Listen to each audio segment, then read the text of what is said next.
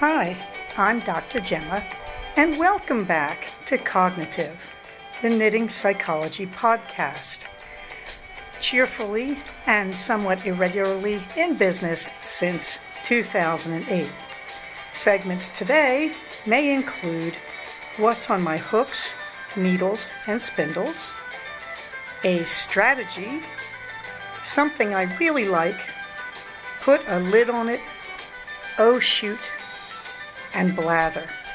So sit back, put your feet up, pick up your knitting, crocheting, spinning, weaving, or dyeing, or any other yarny thing you're doing, and get ready to enjoy. Hi, it's Dr. Gemma. Welcome back to Cogknitive, episode 49. Wowzer. Boy, I'm sort of impressed it's gone on this long. Thank you those of you who are hanging in here listening. If you would like to make any comments, you can comment either on our group on Ravelry or you can comment on the blog itself at cogknitivepodcast.blogspot.com. I do love your comments. I've been a little late on posting notes and I think that's interfered somewhat. So thank you to those of you who gamely hang in and do comment. In the warm thanks department, thank you, Deborah N. and Jan or Jana or Jan. I'm sorry, or Jane, if I'm getting your name wrong, but I really appreciate those delicious coffees. Uh, it helps to pay the monthly expenses of the podcast, and I think that's very, very kind of you folks.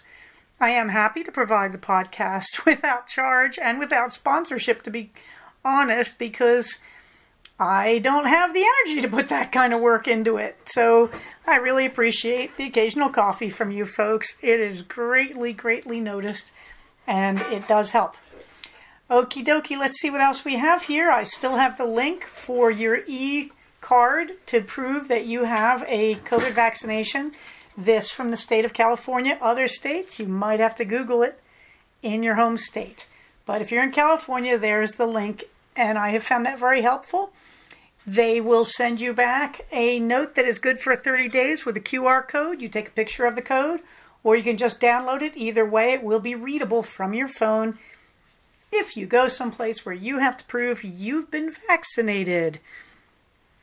What, you may say, is on my hooks and needles. You can tell I'm in a snappy mood tonight, can't you? It's been a very, very interesting day, and that's going to be saved for episode 50, I think because I have enough material for episode 49 to tell you what's in my notes right now. But I am feeling very snappy. I'm having an interesting week all of a sudden. So, meanwhile, you say, but Gemma, what is on your hooks and needles?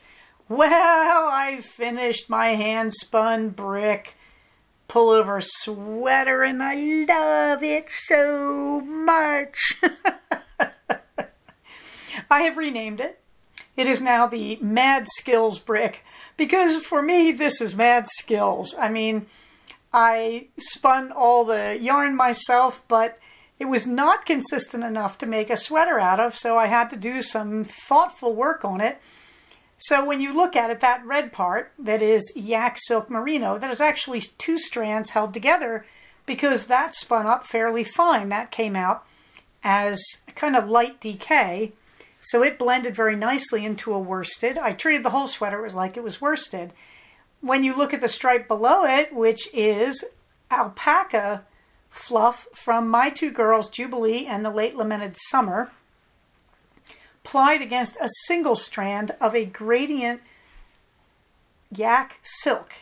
And the gradient went from that, from a brown actually, down to a pale, pale pink. And I took the lighter end of it and I blended it with the alpaca. And so when you see that alpaca looks kind of grainy, that's why, because you're looking at the little tiny bit of that single ply of the very fine yak silk that was plied against the two fuzzier plies of alpaca, and this brought it out to a very nice worsted weight. Below it, you have the silver, which is a BFL silk, and that came out to just a splat right on the nose worsted weight with a slight lean in places towards an Aran weight. So at this point, all three were pretty much the same size. I was as surprised as anybody. Somebody wrote to me and said, Oh, I've never been able to do that for a sweater. Even my socks don't always match. Trust me, me too. But I pulled these one after another right out of my fiber bin. I had no idea of working them together, but I wanted to get that gradient silk spun and then I wanted to get it plied against something worthy of it. So what I did with it, like I said, the, the lighter half of the gradient went with the black alpaca. The darker half went with the remnants of that silver. So there you see in the body and the arms the straight up silver. And I had two bobbins of it left. And rather than try to break it down into three and make a three ply, I applied the two remaining bobbins of it, little tiny bobbins, against the remainder of that yak silk gradient against the darker side. So what happened? When I made the sweater, I started with that cherry red up by my face because any of the other colors would have washed me out, whereas that cherry red will make my skin glow pink. I know myself after 60 years of looking at myself in a mirror. So that's why the cherry red's at the top. Then I realized the trick there was to use that single ply of the yak silk that in against the black alpaca, remember, was basically a slightly lighter version of that cherry red going into pale, pale pink. And that's the direction you're looking. At the top near the cherry red is the ply with the cherry red. And so as you go down the alpaca, that single ply of the yak silk is getting lighter. And by the time you reach where the silver begins, it is almost the color of the silver. So that was my way of trying to incorporate a fade. Now I thought of going into, I think it's Drea Renee Knits, her beautiful fade patterns, and doing that with the sweater. And I just kind of got turned off to that, and I couldn't figure out why that went against my instincts, because that's such a good pattern, that fade. And I finally realized because the fade was going on inside the color of the alpaca yarn. I didn't want to kind of do overkill. I didn't think it was going to look right using the fade pattern which don't worry, I plan to use in a cardigan real soon. but this was the time to use this. So there you have the alpaca fading down to the silver in its own unique way because of that single ply in it. And then that's a straight up silver, and that's reflected in the arms. The arms, I went all the way to the ends of the cuffs, uh, the ribbing on the cuffs in that same silver.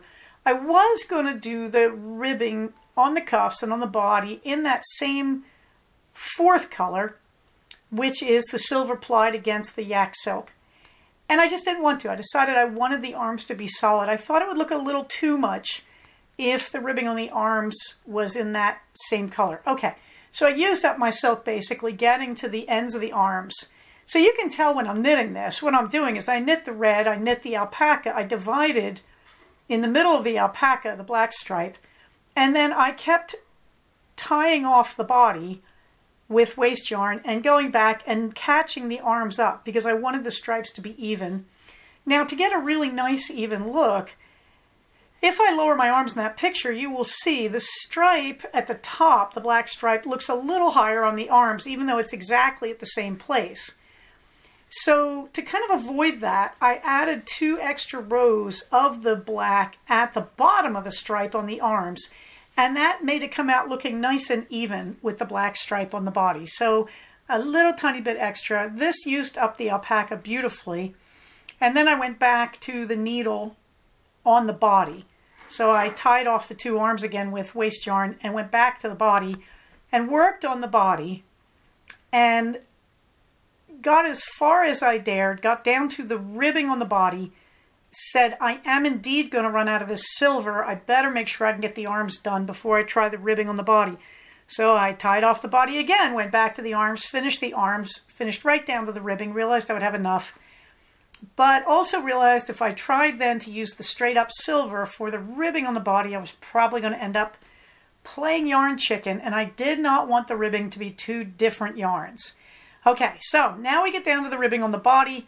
I switched to size 7 needles as you do for ribbing, and that's when I realized that yarn that was two plies of the straight up silver against a single ply of the yak silk, that was coming out as a very thin yarn compared to every other yarn in this except that cherry red at the top.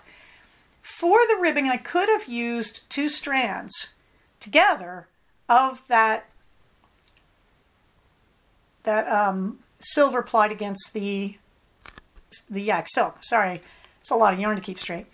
And I decided not to. I said I'm on smaller needles, so I went with a single strand, and it worked out great. And I'm really happy with it. That last yarn at the very ribbing on the body is much thinner than the silver above it, and yet for some reason, I guess because of the size 7 needles, it worked out just great as the ribbing. Why did I bother with the ribbing? That a friend of mine was saying, a very good knitter in fact, was saying, well just do a seed stitch. The ribbing is there for a reason. I didn't taper the body. I made the body a straight tube. Now as you can see, I've got considerable chest. And I'm not that big through the tummy. And instead of tapering, that's what the ribbing at the bottom is for. That the ribbing pulls in the sweater, and when you blouse it the way I have in the picture, it makes your waist look smaller. And that's what I was going for, is I wanted my body to look kind of balanced, and I wanted the waist to look tucked in and pulled in.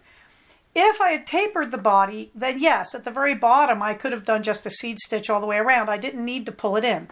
But if you're not tapering the body, in my opinion, you do want to have the effect of pulling the body in, and that's what the ribbing is good for, the ribbon and then blousing it the way I've done. So you make it long, and then you add the ribbing, and you pull the ribbing up to your hip level and let the body above it blouse over it. And that to me gives it the effect I want. It makes the body look more narrow and it, it makes you look thinner, frankly.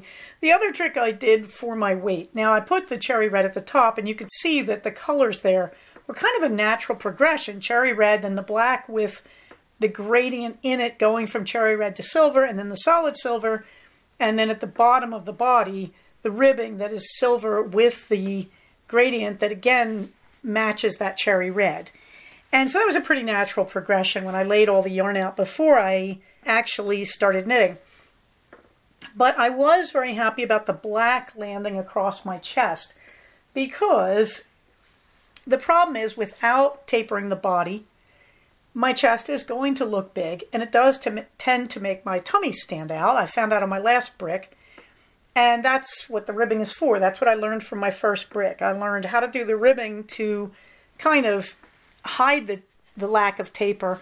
And I also learned on my first brick that my chest is much more uh, generous than I had remembered. And so the black stripe across the chest makes me happy because I think it's somewhat thinning, which is not something you typically say about horizontal stripes. Uh, the only problem with that black stripe is that is where the fur from my own two alpacas, Jubilee and Summer lives. So I have to admit, the first day I wore the sweater, we had a cold day last week, as someday you will see when I finish my temperature blanket.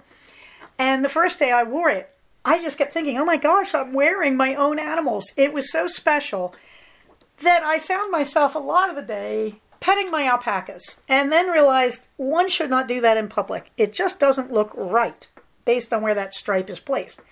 However, I will tell you to those of you who have kindly asked, yes, what I love about this sweater is that stripe. I never expected to be able to work with alpaca yarn in a sweater because it doesn't have a lot of spring the way wool does. Neither does the silk in this sweater. So in terms of sweaters, this one is heavy that it is much heavier than the straight up brick I did in Malabrigo Rios last winter. There's definitely weight because of the silk, because of the alpaca. And there's not a lot of bounce back. You can't stretch it too much and expect it to bounce because that silk content stiffens it up a bit. However, I have to say, first of all, I never thought I would do a hand spun sweater. I remember when the Knitmore girls had a really great project where they were trying to get everybody to spin their own sweater and then knit it. And at the time, I thought, why would you do that? Because that's too much work, and I was very intimidated by it. On top of it, I thought my yarn would never be consistent enough. I have to admit, it is really a cosmic trip to spin your own sweater. I think the only way I would ever have done it is the way it happened here, where I didn't really mean to do it, but you know, I spun those yarns pretty much in the order you see them from the neck down. And it worked, and I was aware that they all were harmonizing, and I just suddenly threw it to the wind and said, let's find out. And my thought all through it was, all right, I'll do this color. After this color, if the next color doesn't work, I'll keep a safety line in between the two colors. I'll rip out the second color and I'll get a commercial yarn and I'll finish this sweater and I'll find another way to use those other colors. So that's how I kind of coaxed myself through this. One of the things that intimidated me was back in the days when I worked at the prison. I remember the psych- one of the psychiatrists coming in and he had on the worst looking sweater. And he said, My mother spun this and then knitted it for me. And then he looked at me with that look that dares you to say, Ooh, that looks pretty rustic, uh, or unskilled, or both. But I have always held that sweater in the back of my mind, thinking about how his mother loved him and how he loved her, because he actually wore it. And it looked, well, you could wear it to a prison, let's put it that way, in the winter. And I was always a little intimidated that anything I spun would come out like that. So I am sort of floored that I have finally spun my own sweater. And not only that, but that it incorporates two of my pets. And I'm, I'm just pleased with myself and delighted, and I suspect my knitting skills have reached their peak. Surely there are more things I could do to be even more skillful, and I probably never will. So the hand spun Mad Skills brick sweater is finished and is being worn with joy. The other joy that gave me a lot of happiness this week was I got really serious about finishing the brick and I said, okay, everything goes to the back burner. And so I started making plans just about the time I hit the ribbing on the body of the brick of what am I going to do when I finish this sweater because I was just about to die. I was so tired of knitting on it, which is odd because I loved it right down to the ribbing. The ribbing felt like a bridge too far. But anyway, so I said, oh gosh, what do I do to reward myself? So the first reward was I said, I'm going to finish the Franken sock that I've got on the needles, and I'm going to start the second one because I don't have second sock syndrome. I don't allow it. And so I have. Uh, even as we speak, I am working on the ribbing at the top of the leg of the second sock. The first sock is utterly finished. I made the entire foot in that Regia that I made my fingerless mitts from last year, for last winter. And then I got to the heel and said, oh, I should use a different color. And then I said, why? I really would like to use up this Regia. And so I did. It was a bit of yarn chicken, but I got the entire foot, including the heel, out of that. And when you look at them, they're a little bit funky looking. or rather, I should say that one sock is. And yet, when I put it in my slide on croc, and I do love me some crocs, it looks great. In case you're wondering, someone said, Are those crocs? Oh, yes, they are. I wear black and navy blue crocs in the winter, and I wear gray and pink crocs in the summer. I adopted Crocs about the time I was diagnosed with diabetes, and you have to watch your feet in diabetes because if you're not careful, you lose circulation to your fingertips and your toes, and then you get them amputated. Diabetes, it's not pretty. So I'm very, very careful about my circulation, and there's a fear that you can get your feet injured and not have enough sensation in them. That is not my problem. I get my feet tested regularly. I have normal sensation in them. That's why I work on a keto diet, kids. I'm keeping my sugar low. And so at the same time, I did take seriously that I'm not going to go barefoot as often as I used to and I want my shoes to be easy. And so, yeah, we have a Crocs outlet near us in Camarillo, California, and I went crazy. And Crocs have become my go to shoes. I wear running shoes when I do any kind of walking or running, and hiking shoes, uh, same company that I get from Roadrunner Sports. And then I wear Crocs and slippers, and I'm a happy camper. So, whoever asked that, that's the answer to that. So, there is a picture of the first Franken sock from three angles, and it looks terrific inside the Crocs. And then I said, okay, it's time to start working on the wild lettuce shawl. And I have indeed started working as I record this. I believe I had, I think I've got 15 repeats of the lace edging left, and I've done three in the last few days. I just was very, very happy today working on it. I just got in that place and did two of the repeats. So the wild lettuce is back in very slow motion, but suddenly I can look at it and see that I'm going to finish it. All of this was done because I want to get on to Twin Faces Vest. But I said, no, I am not going to touch Twin Faces Vest until I have caught up other projects. This also led me to the temperature blanket, which was way behind. It was at like September 14th. As I record this, I believe it is at October 4th. It is behind because I need more of my winter colors. I realize I am way overstocked on the summery colors, and I'm totally out of the colors that represent 50 degrees and 40 degree ranges. So another order to KnitPicks, but hopefully this is the end of it. Hopefully i am using up what I can. I'm doing it in Brava Sport, and the sport weight worked out really well for the blanket size for my queen size bed. So the temperature blanket has been a happy hobby, and I've been catching it up. Meanwhile, I said, but what about socks? That I have a thing this time of year. I like to do Halloween socks. I like to do some kind of harvest or Thanksgiving socks, and I like to do Christmas socks. So I went stash diving and I found an incredibly beautiful golden brown by Fiber Files, now renamed Sterling Ridge, and not dying currently, just making masks for the pandemic and selling those on Etsy, bless her. But anyway, Fiber Files yarn is terrific. This stuff seems to date from about 2014. So some very serious stash diving. And it was really a joy to find it. And so there's a picture of it. It's just so beautiful, that color. So after I finish the Franken socks, that will be the next set. And meanwhile, we will get Twin Faces vest finally finished. That should not be too much work. That will lead me on to her sweater. She's getting a brick too. Meanwhile, what am I currently wearing? Hooray! It's Woolies time again. As I record this, I'm sitting here in my beautiful vest from Ann Budd's Knitter's Handy Book of Patterns, which is the same vest I'm making for Twin Face. In the neckline of the vest, I've incorporated one row in the v-neck of the stitches in the color of Twin Face's vest. In her vest, she will be getting a coral vest with a line of the green stitches in the neck to represent my vest because we're twins. And I did tell her that. She was totally unimpressed.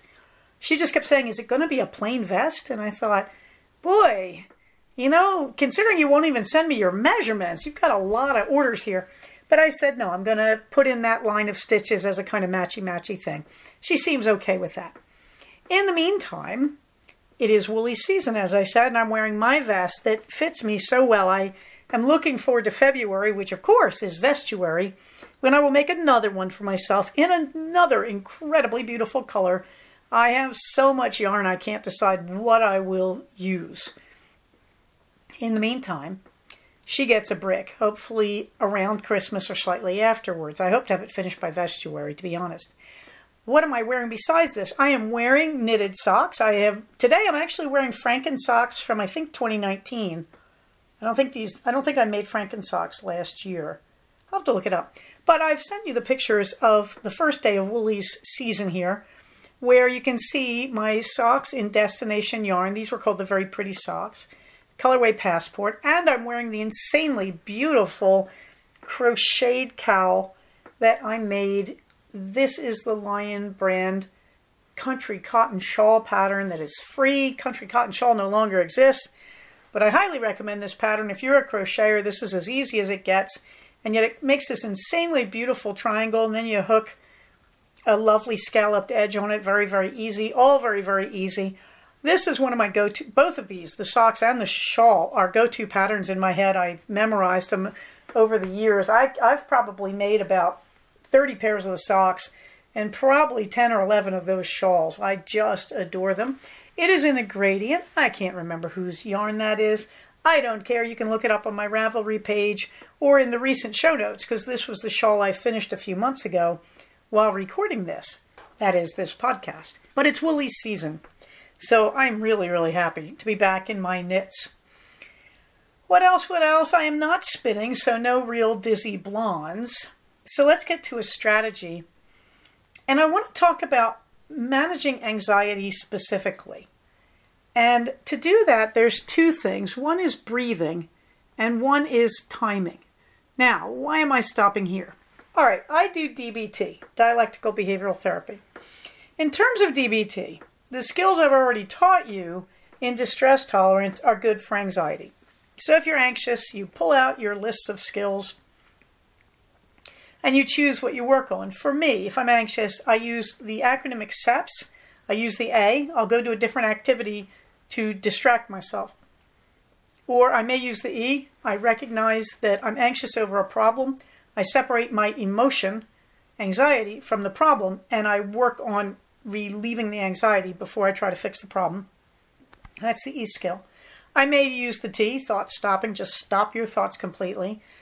Uh, or I may go to the acronym IMPROVE, and I may use imagination. Imagine myself feeling relieved after I solve the problem. Imagine myself a year from now when I'm on to whole new problems. Or more likely, I may use the P, have a prayer. I, I, I am a prayer. And I may use the R for relax. And I may use the E for encourage yourself. Okay, so those are the DBT skills as applied to anxiety. However, I find it more useful when I'm talking about anxiety to manage it based on more cognitive behavioral strategies, not the strategies that are CBT in the subset DBT. In other words, dialectical behavioral therapy is a subset of CogB. So not all CogB strategies are in DBT, if that makes any sense. So stepping out of DBT but staying in cognitive behavioral. My favorite way to manage anxiety, there's two. The first is get air. Get air now. Anxiety is always in your body. That's why it hurts. That's why you get things like chest pains and cold sweats. It's in your body in a way that other emotional problems aren't. You're having biochemical reactions that are enhancing the panic and anxiety, okay? So, the first problem in anxiety is you don't have enough air.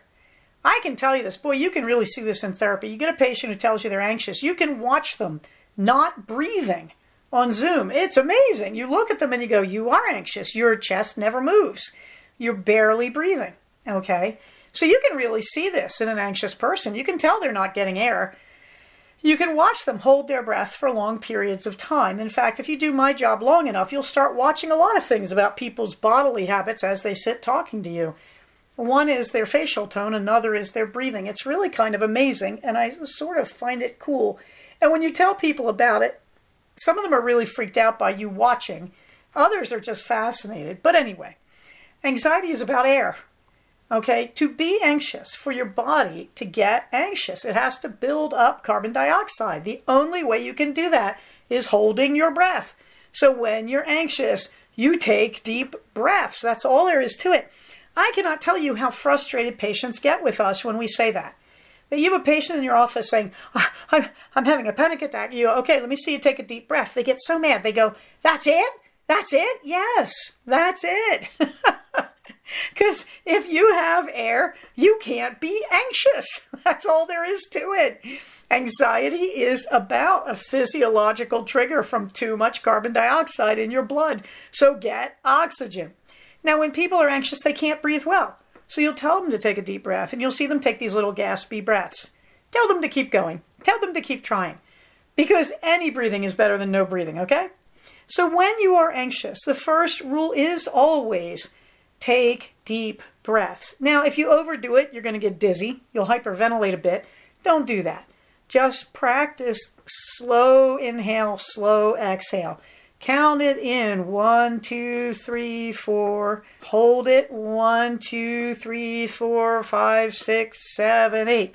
Okay, actually, it's four, five, eight. But that's bonus points. I don't care if you're doing that. What I care in the beginning is just count to slow your breathing down in and out. Now, the bonus points on breathing, you can actually hit two things. You can not only fix the ratio of oxygen to carbon dioxide in your blood, you can also activate the part of your nervous system, the parasympathetic nervous system, that's going to calm you down. The way you do that is your exhale takes longer than your inhale. Why? Humans are beautiful machines. When we inhale, we activate the sympathetic nervous system that wakes us up. That's going to make us more nervous. When we exhale, we activate its opposite, the parasympathetic nervous system that calms us down. So you can hear where I'm going to go, can't you? That's right. Breathe in faster than you breathe out. You want to breathe out really slowly because you want to spend more time activating the parasympathetic nervous system that calms you down. Gemma, you are all wringing your hands at this point, going, Gemma, how many times are you going to tell us this one?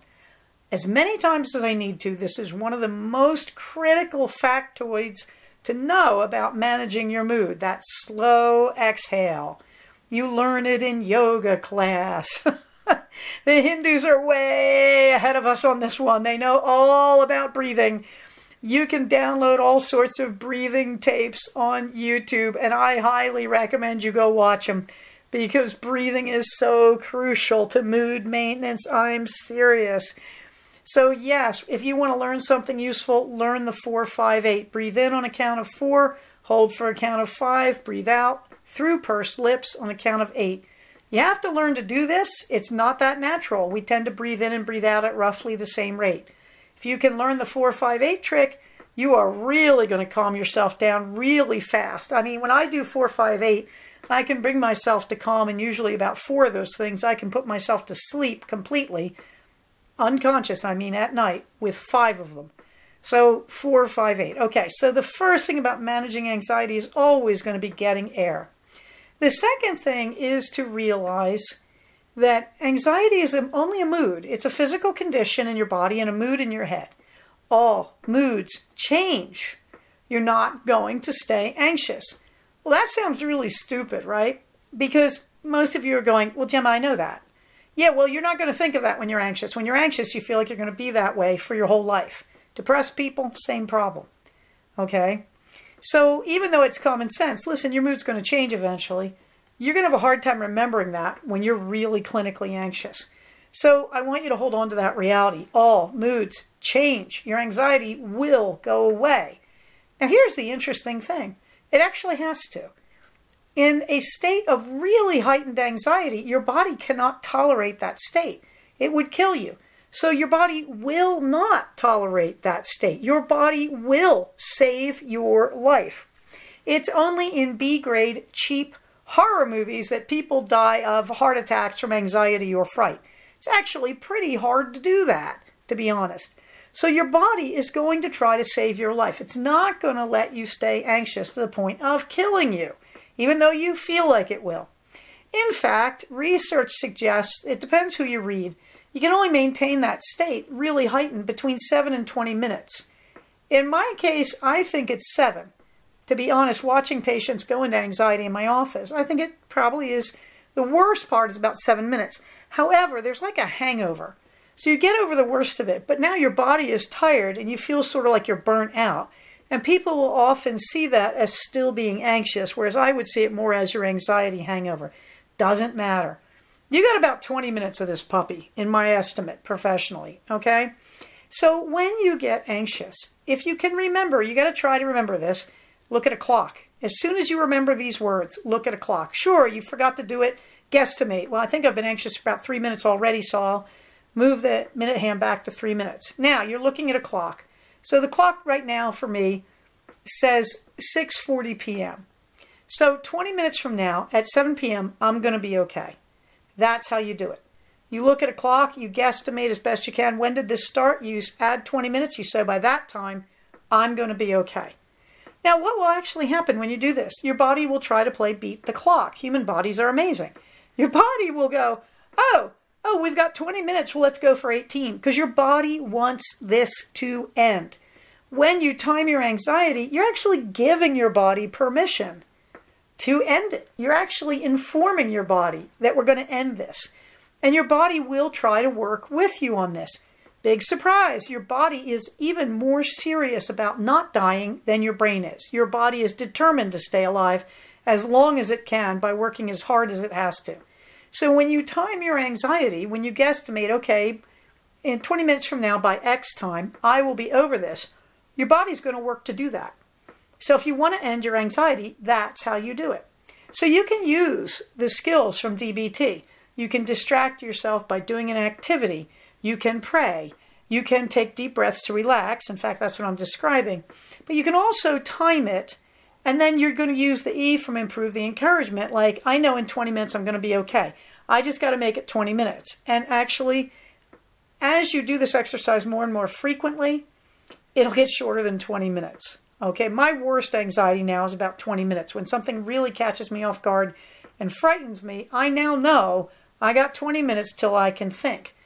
Now, that's important too, that you're going to give yourself permission to get over the anxiety if you can before you do anything else. Let me say that better. You're going to give yourself permission to get over the anxiety before you do anything else if you can do that. Now, if you're in an emergency, your house is burning down, no, run out of your house. Forget the get over the anxiety first, okay?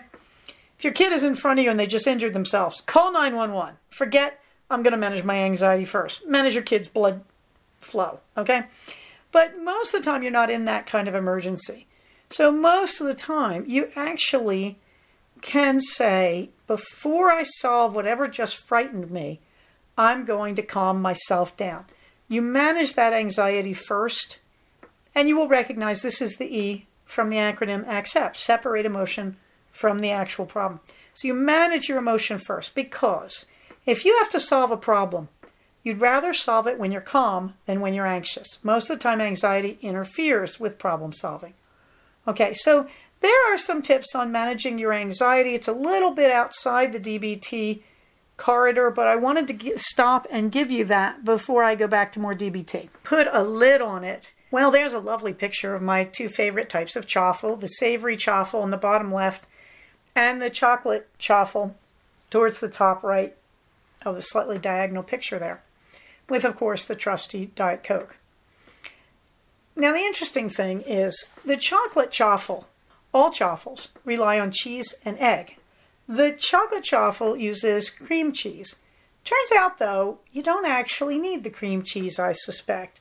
It's nice, but it doesn't melt or blend well, and I suspect you could make a keto chocolate chaffle with no cheese in it and use almond flour instead.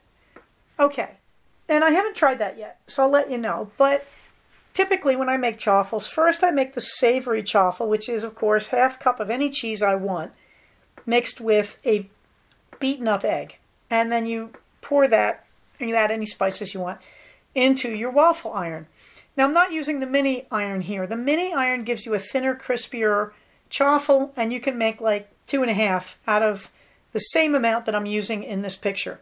I'm using the bigger four part waffle iron there, a big round iron that gives you this circular waffle or chaffle, and it's in quarters. Okay. So I'm using the big iron there. And this works nicely. This recipe works nicely. The one egg to a half cup of shredded cheese works really nicely in the big waffle iron. Now, the interesting thing is when you do the savory chaffle, it leaves oil behind from the heavy amount of shredded cheese. The chocolate chaffle absorbs that nicely. It strangely doesn't flavor the chaffle, but it does make it release nicely from the beautiful silicone coated waffle iron. All right.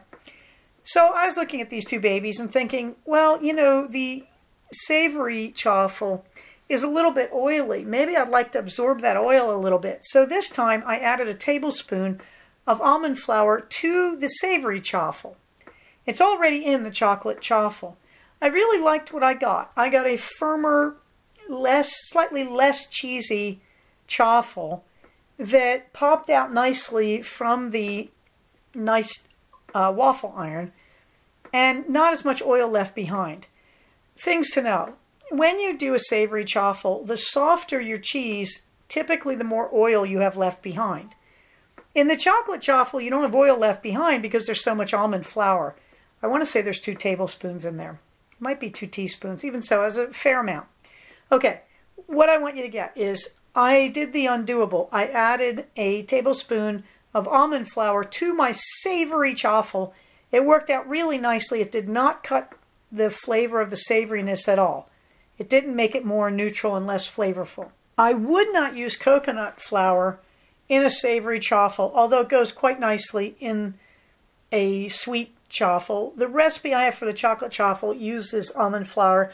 I prefer almond flour, fewer carbs, so I'll use it where I can. So what you have there are my nightly dinner chaffles. Uh, when I make myself a meal and I want a quick meal, I will basically grate up any hard cheese I have lying around. Swiss. I've used Havarti. It's it's very weak and leaves things very oily.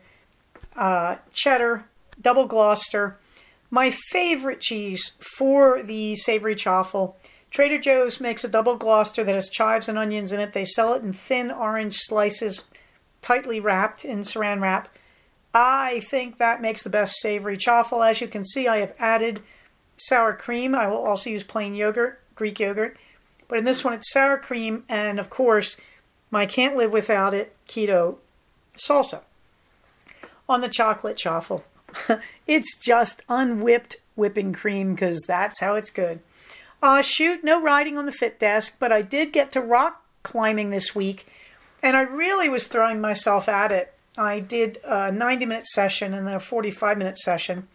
And there's a lovely picture of my son leaping off the boulder wall. I'm lousy at that because I lose concentration. My fingers cramp. I can't get them undone. So I've ripped a lot of deltoid trying to jump off the boulder wall. As a result, I've stopped bouldering. I'm just working on improving my belaying skills, to be honest.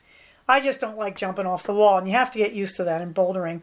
They have very heavy padding underneath it. But there is Superboy.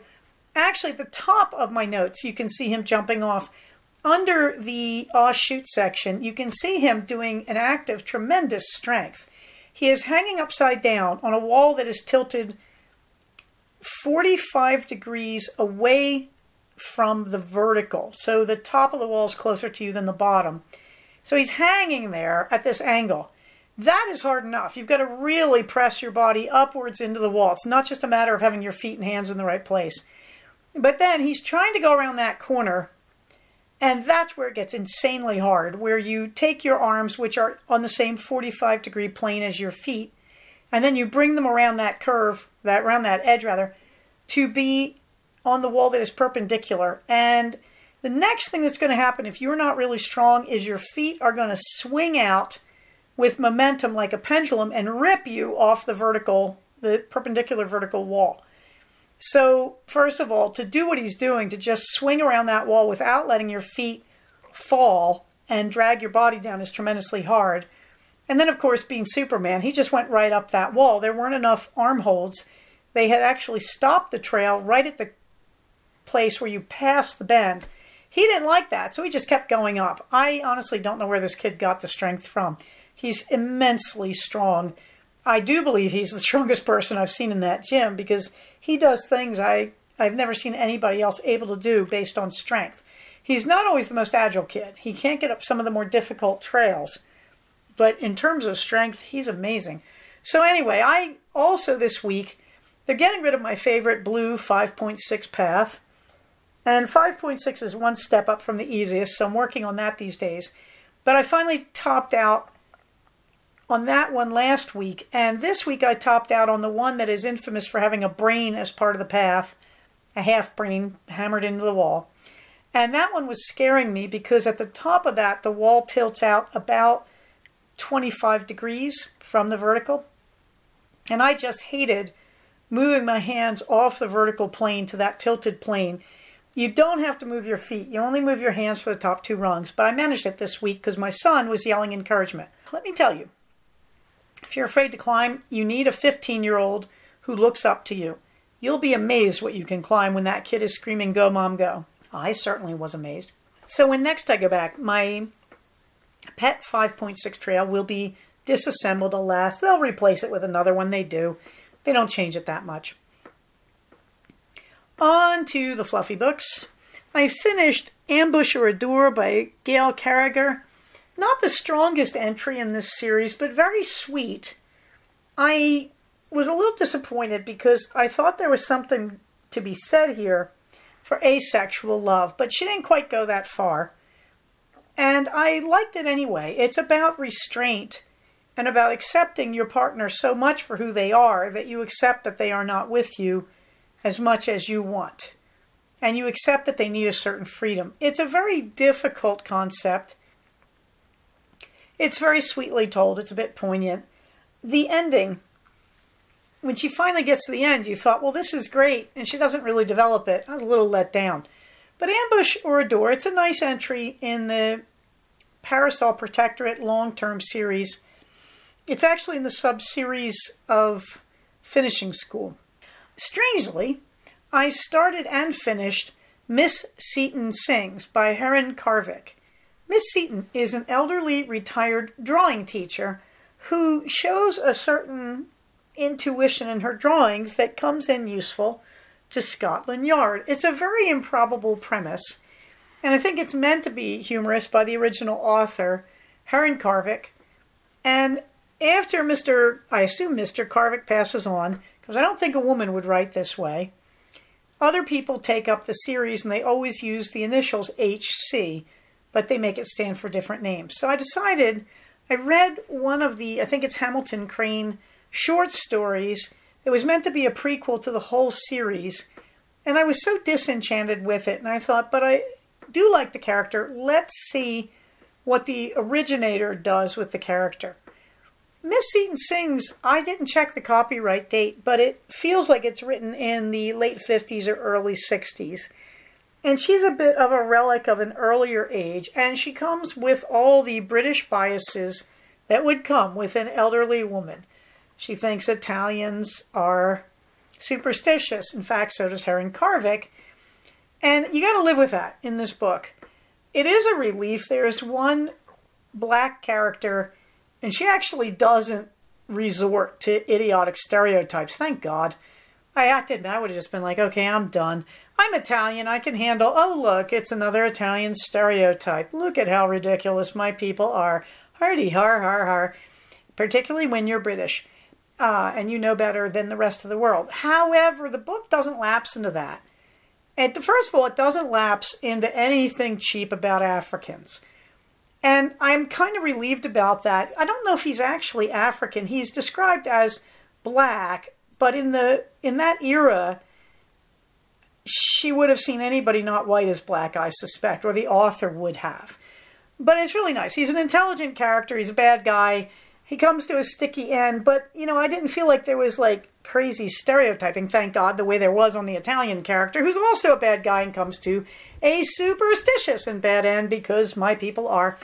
All right, why am I putting up with all that? Because obviously it annoys me. Because Miss Seeton herself is a caricature. They're all caricatures. So I have to admit, Heron Carvic is kind of painting with a fair hand that for every stupid thing the Italian character does, Miss Seeton is doing stupid British things. That I think the larger picture here is that the author sees everybody as having cultural problems or stereotypical actions or whatever.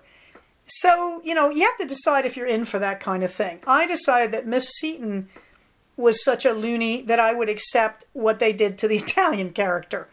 I was relieved. Um, you really can't tell America has a more recent and even more hideous history of slavery than Britain does, because I can't imagine what an American author would have been doing to that gentleman of color. But even so, uh, for some reason, Heron Carvic doesn't do that, and I'm kind of relieved. Instead, what Carvic does is anybody who's not British is painted with the brush of foreigners are kind of crazy and they don't think like us. However, once you see how the Brits think in this book, you think that's probably a good thing because the Brits aren't too clear minded.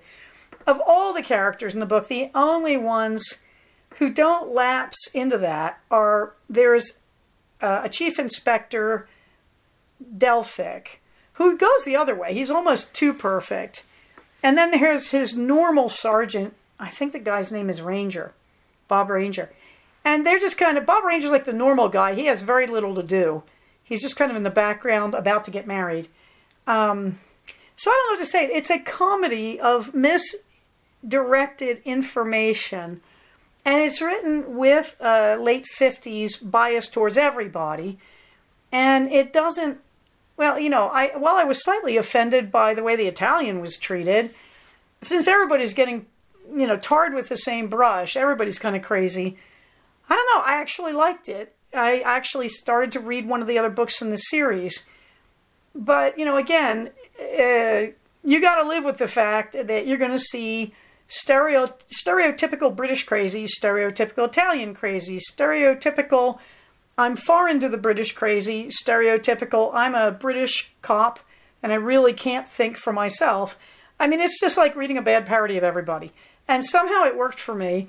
So I'm going on to read another. We'll see how it, it works. in terms of cozies, I'm surprised people kept the series going after Heron Carvic went to that great library in the sky. But I don't think I'm going to follow it that far because I think this might wear out after one or two books. Meanwhile, I started Murder Most Pemberley by Jessica Berg. No. Now, I have an unfortunate proclivity to read books related to Jane Austen's Pride and Prejudice, or any of her books, but most especially Pride and Prejudice. And Murder Most Pemberley, this has been done before. Let's have a descendant of Lizzie Bennet be a detective. It's a little too frothy and giggly schoolgirl. Let's also mix in the sexy guy who has remarkable restraint, blah, blah, blah. I'm trying to get through it. I'm listening to it in the Kindle version. I'm not spending the money on the Audible. I'll let you know. I am going to try and plow through it. The villain is a little too upfront. I feel like the mystery is being painted with a clumsy hand. But we'll see how that goes. Something I really like I love this general trend towards online adult classes.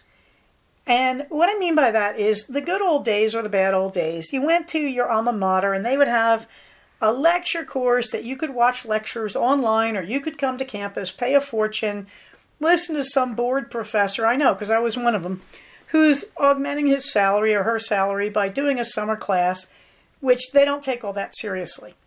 Okay, now some of those are good. I mean, I've known professors. My colleague John springs to mind was a wonderful guy. Can't think of John's last name.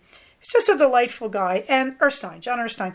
John did this summer adult Shakespeare class in Ashland, Oregon, and he had a great time and he took it very seriously. So there are some good ones out there. Okay, but meanwhile, most people don't want to do that and they didn't want to pay the money. Now we've got this series since the quarantine.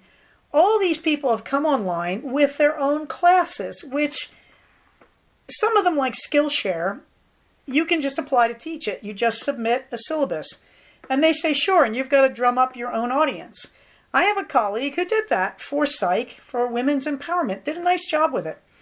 And then there's Masterclass. Masterclass advertises. It goes out and it gets these big name people. I think they had Ron Howard on directing, for example. I think that was Masterclass. They find famous people and they have them teach classes. I've been enjoying this. Strangely, where I found the best version, Masterclass has a rock climbing class, which I keep meaning to take. But actually, on the Calm app, they have Masterclass. They call it that. And I listened to two of them last night. One was Dr. Adam Alter talking about screen addiction. The other one was on Stoicism, which is one of my favorite philosophies, and I have always thought gets a bad rap in the modern world. The Stoicism course is great. I can't remember the guy who taught it. Alter's class on screen addiction was surprisingly good. I really thought, oh, he'll kind of blow this off. No, it's only three lectures. They're each about 15 minutes. And it was really useful to me. I mean, it was worth the price of admission. I would have paid for this guy, but it was free on the Calm C as in cow, A as in apple, L as in lemon, M as in Mary app. And this was an unexpected bonus. The Calm app, I don't know why they're putting classes on it, but they're all, you know, life management and stress management classes. They're very interesting. Stoicism got in there because one of the founders of Calm just thought, hey, look at this, we can get this guy. Really, really good. So I really like this trend towards mounting classes for reasonable adults, most of whom I'm sure they expect to have a bachelor's degree. Although I don't, in Masterclass or Skillshare, I don't think you need a degree particularly, but I think they expect that's the audience they'll attract. I really like this that you can pay a subscription price for a year and just get these classes. And they're really fun. They're on a huge variety of topics baking, cooking, stoicism, philosophy, science fiction. I've got one loaded up about the science and science fiction, screen addiction. I cannot even tell you, stress management. There's a lot of these. So I really would tell you if you see ads for this coming by on your screen, check these out Certainly, if you're using the Calm app, I would recommend their master classes. I think they're terrific. Moving on to the blather, there isn't much, and that's good. More next week. I haven't really done anything on my embroidery project. I also have an old embroidery project, Pennsylvania German project I designed that I want to finish before I get on to the Celtic knotwork collies, but they will be coming. The other thing I wanted to talk about, uh, the master class made me think about this with Stoicism, and that is when since the quarantine, there's been a lot more boredom. People can't get out and about and do the things they used to do. They don't feel comfortable spending a lot of time in public. And so there's been a lot of boredom. A lot of us are taking boredom and calling it anxiety. And I think that's really interesting. I think I was listening to Dr. Alter talk about screen addiction, and he pointed out we no longer know how to handle boredom. We use our phones for that or our tablets. And I thought it's really true that we reached this topping out point, particularly in the quarantine last year, where people even got tired of the stuff on their tablets and started getting bored. And suddenly I had a lot more patients who were anxious and they would date it to the beginning of the quarantine, but they weren't afraid of COVID. They just were like bored. They didn't know what to do with their time. They were overthinking problems they didn't develop thought stopping and thought redirection. Instead, what they developed was play on your tablet or your phone. And I don't mean that in a nasty sense. But I can't tell you how many times I've been in public where I'll see a little kid acting out and the parent hands them a tablet or hands them their phone. Now, I recognize in a crisis that's not the worst thing to do. But do you want to do it every day, all the time? No. You want to teach your kids other hobbies. Hey, knitters, yeah, you want to teach your kids to knit. You want to teach them that they can create and make things for themselves. You want to let them play with color. You want to let them use your sewing machine and quilt or your spinning wheel. Years ago, I went up to the Huntington Library. I was invited up by the LA Spinning Guild to take part in a demo at the Huntington Library. So I took my really indestructible wheel. I took my old Ashford traditional that I felt was a pretty safe wheel and also is kid friendly, that everything's at a good height and range for a younger, smaller person to use, as opposed to some of my other wheels, it helps to be adult sized. So I took my Tratty and I was surprised because all these people were spinning and kids kept walking up and saying, Can I try? And everybody was saying no. And I thought, Oh my God the kid came up to me, his boy said, Can I try? And I had this feminist moment of, Kid, you're a boy. You really should try. You're about to learn what it's like to be a girl, that this should not be sex or gender based, but this is a woman's traditional thing, and it won't hurt you to know that this is what women did with their lives centuries ago. It won't hurt you at all to have a little more empathy about this. So I got that kid on my wheel. And his mother's like, no, no, honey, that's for girls. And his sister laughed and goes, you shouldn't do that. And I said, yes, he should. And I said, this is a human skill. It's not a girl skill. It's a human skill. And I taught that kid to spin, and he had a blast. And then the sister's like, Well, I want to turn. And he said, Well, you have to wait. And she said, I want to turn. It's a girl thing. And I said, It is not a girl thing, and you're going to wait. Pretty soon I had a line of little boys. But even more satisfying was the other spinners looked at me and one of them said, I can't believe you're letting a kid use your wheel. And I said, Why? Why would you bring a fragile wheel to this kind of demonstration? It's really cool to show historical wheels. I get you. If that's a hundred year old wheel, I wouldn't want a little kid on it. This is a 1994 Ashford traditional. Get on the wheel, kid. I would rather make a new spinner because I know how to fix that wheel. It's not that hard. He's not going to break anything I can't fix. But it was so important to me that an hour later, most of the people there with wheels had kids on their wheels. That's what we have to do. We have to teach kids our skills. We have to take them running if you're a runner. If you're a rock climber, you take them rock climbing. In my case, my kid took me.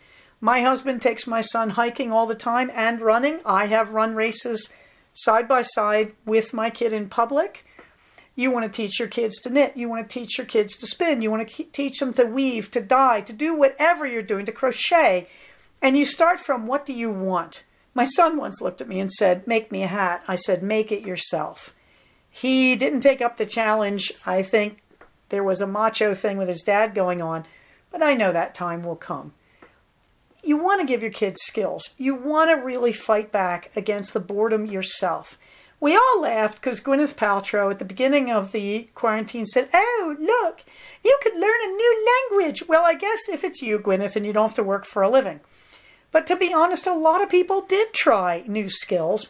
And I was disheartened because a lot of my colleagues published these rants about you don't have to learn a new skill. You're probably depressed with the quarantine. Just sit in your bed and be depressed. Baloney. Baloney. You shouldn't feel pressured. I agree that far. But the reality is, if you're fighting boredom, you learn a new skill. That's how humans do it. And it's a wonderful way to manage your mood. Honest to Pete, I've had both clinical depression and I've had clinical anxiety in the form of PTSD. And you know how I manage it? I was knitting lace tonight to manage it. Skills help us manage our mood. We shouldn't be talking about them as this kind of punishment inflicted because we have depression. They help us. We all know the story of some woman who lost her husband and couldn't stop knitting because that was helping her mood. Skills help humans. We're designed to use skills to improve our lives, to make things for ourselves, and to manage our mood. So when you're getting anxious and you're chalking it up to the quarantine, I'm cool with that. We've all gone through that. And God knows all of us have lost sleep over the quarantine, and that's a very normal thing right now. But I would challenge you are you bored? Do you need to pick up a new skill? Yes. In the last three months, puzzles, which I've never done in my life, and rock climbing. Come on, guys, I'm 61 years old. If I can do it, you can do it. Pick up a new skill, take a master class. But remember, when you're feeling bad, it may simply be boredom, and we've all forgotten how to manage that because we've been using our screens when we also could use many, many more skills. Minerva gets the last word. I have a picture there of me knitting on the ribbing of my sweater. And there is Minerva. I'm sitting on my bed with my legs crossed. There is Minerva lying there with her paw over the edge, which is the Minerva symbol of I own this bed. Below her is Eleanor. She's lying with her butt towards Minerva, but she's lying close to the bed. That is her symbol of I own this human and I'm ignoring you, cat. Curious thing is, that picture made me think about how much they communicate with each other. Here's what's interesting. As humans, we are very hierarchical. And one of the terrible things we've done in certainly Western culture is we've extended that hierarchy into the animal world and the natural world. It's not enough for us to arrange ourselves in a hierarchy. To say, for example, Joe Biden is the president of the United States, so he's above me in the political hierarchy. I'm just somebody at the bottom, a voter. Okay, fine, I can handle that. We're tribal. This is what humans do. It's cost us a lot of problems, of course, but I'm not going to go there. But it is curious that we extend it downward. So we put all animals beneath us, anybody who can't speak our native tongue, basically. So we put foreigners beneath us if you're reading Heron Carvic's Miss Seeton books. And if you just look at all our history, we put animals beneath us. Not all humans do that. Native Americans certainly don't seem to, from what I've seen outside their culture. They seem to respect animals as beings with similar rights and privileges to their own, whom occasionally they must kill in the name of survival. And they apologize for the killing, but they do it. Okay? So not every culture of humans is doing this. But I find it curious how Western culture does that, puts the animals below us. What's fascinating is dogs have a pack order, and yet the dog does not put the cat below her. She treats her like a sort of space alien. The cat, of course, is a tribal animal with a different tribal structure than humans or dogs. And the cat seems to treat the dog as a rather peculiar large companion. So they do talk to each other. They do not try to speak each other's languages, as far as I can tell. Now, I will use Minerva's language. I can't lash my tail, but I can narrow my eyes to show affection at her, and she does react to it. And I will groom her with my chin, and she will purr she reacts to that. So there are moments I try to use Minerva's language to talk to her. Minerva does not really try to use the dog's language. Both Blankets and Eleanor will come up and do puppy gestures inviting her to play. And they're mystified that she doesn't seem to know what they want. She will stand very still and watch this with interest. If they get too close, she'll smack their noses. They're very careful not to get too close. They know about the knives that live inside Minerva's toes. But I do find it interesting that dogs and cats respect each other. They seem to see each other as sort of separate beings, but still equivalent beings. They do not try to speak each other's languages, as far as I can tell, as opposed to the culture I was raised in, which is so hierarchical that we treat them as lesser beings, which they don't seem to do with each other or with me, and we tend to not regard them as having rights because they are lesser. It's kind of weird when you look at that and watch that all in play, and when you begin to imagine it otherwise. Okay, everybody. So it's been a really fun podcast. I still managed to get an hour and five minutes out of this or something like that. I'm sort of surprised. Thank you so much, as always, for tuning in. This is the part where I do all the COVID stuff. And I had an interesting thing. I had someone say to me yesterday in public, I mentioned something about COVID. I was talking to somebody in a restaurant, and they, they grinned. This parent and child looked at each other and grinned. And I said, oh, okay. I said, uh, You're grinning, so I'm assuming you don't believe in COVID. Oh, no, they said, We wear masks. But they said, We believe the vaccine is a hoax. And I looked at them and I thought, What is it, 60 million people now vaccinated, doing just fine? And that's not enough evidence for them. And I looked at them, and for the first time, I went, Yeah, okay.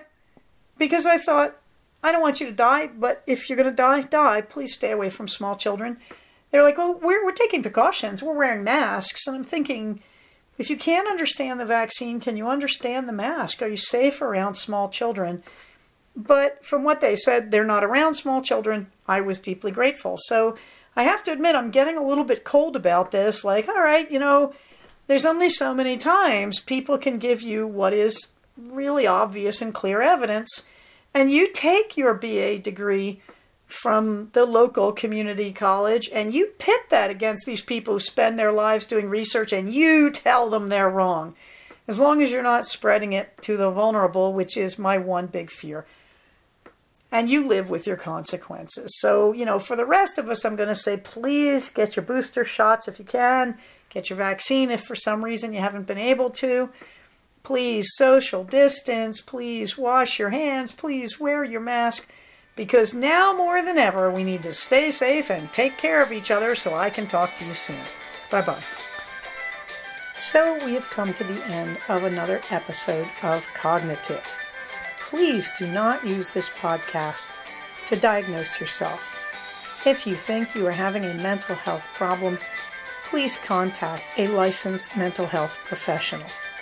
Show notes for these episodes can be found at cogknitivepodcast, all one word, dot blogspot.com.